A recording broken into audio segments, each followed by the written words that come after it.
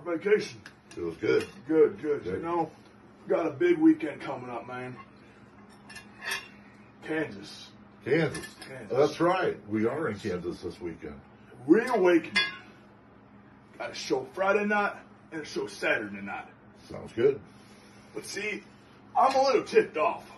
And I'm sure you are too. You're always ticked off. Well, that's besides the point. But we aren't even on the flyer. Yeah, I saw that. You know, that, that don't sit well with me. I'm sure it don't sit well with you either. You see, I, I know I don't look like a typical wrestler. I get that.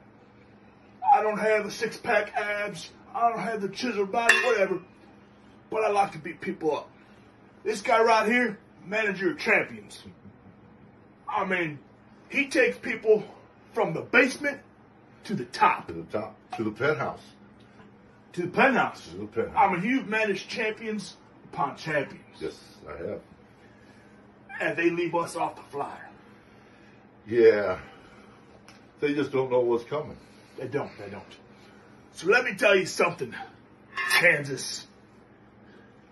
The American outlaw Tyler Bodine, Mr. John Park, we're coming for not one show, but two shows. Two shows. Friday night, Saturday night. And win, lose, or draw, they're going to know exactly who Mr. John Park and the American outlaw Tyler Bodine really are. And the next time, they won't leave us off the flyer. They won't.